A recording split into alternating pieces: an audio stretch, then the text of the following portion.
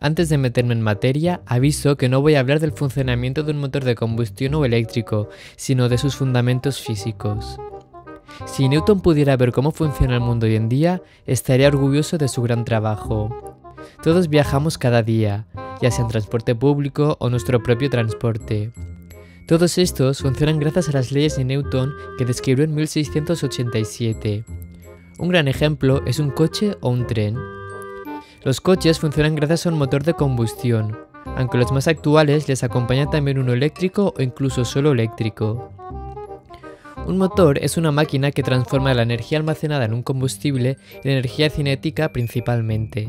Dentro de los cilindros se prende el combustible y la expansión del gas provoca un movimiento de traslación del cilindro.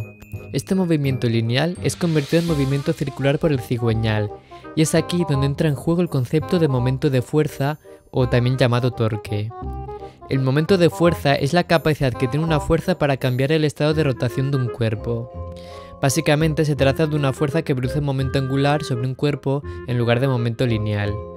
Vamos a visualizarlo primero con un ejemplo más cotidiano con motor de combustión interna. Abrir una maneta. La maneta está anclada a la puerta. Ese es su eje de rotación, que le pondremos la letra O. A continuación se le aplica una fuerza F en el punto A. Habrá un vector R de O a A, cuyo módulo será la distancia desde el centro de rotación hasta el punto de aplicación de la fuerza F.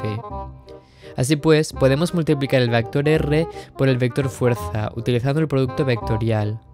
Obtenemos entonces un vector tau perpendicular al plano. Ese vector es el momento de la fuerza. Podemos expresarlo también escalarmente multiplicándolo por el seno del ángulo que forman F y R. Con eso podemos ver lo siguiente. Contra más momento, mayor será la aceleración tangencial. Para que esta aceleración sea mayor, podemos variar dos cosas. Aumentar la fuerza o alejar el punto de aplicación de la fuerza del eje de rotación. En efecto, si intentáis abrir la puerta desde la parte más interna, os costará más que desde la más externa. Si la fuerza se aplica sobre el centro de rotación, el momento será cero y no se producirá rotación. Y ahora que ya sabemos lo que es el momento de fuerza, volvamos al motor de un coche. En este caso, recibe el nombre de par motor. La fuerza será la ejercida por los cilindros hacia abajo y el eje de rotación es el eje de rotación del cigüeñal. El radio es la longitud del brazo del cigüeñal, que corresponde con un medio del desplazamiento vertical del pistón.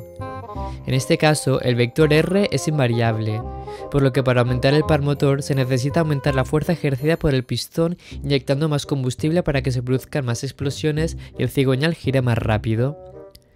Podemos medir también el trabajo realizado por la fuerza de los pistones por unidad de tiempo, que es la potencia que se mide en vatios, o más comercialmente conocida como caballos. Esta se obtiene multiplicando el par motor por la velocidad angular del eje del cigüeñal en radianes por segundo aunque en los paneles de los coches suele representarse en revoluciones por minuto.